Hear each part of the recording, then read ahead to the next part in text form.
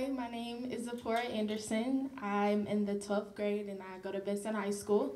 Hold it down! And the title of my poem is called Tired. I'm tired. Tired of seeing my brothers go to jail. Tired of seeing them fail. Can't blame mama, she too busy playing both roles. Now she seeing her boys act out of control. She working three jobs trying to keep the lights on. And big sis gotta play mom number two while she's gone. I'm tired. Tired of seeing my brothers in a cell and getting their court dates in the mail.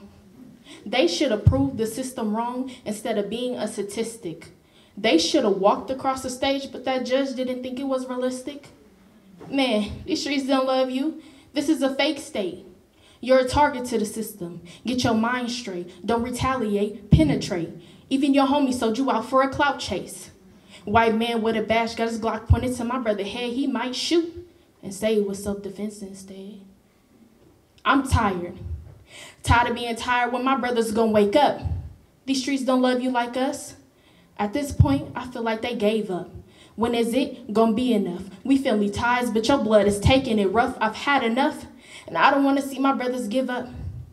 They can't keep going if nobody's on their side. All y'all see is troubled black boys, but what gave y'all the audacity to judge them? They wasn't raised like this. They just saw the world's true colors. Now this corrupt system got us mad at our mothers.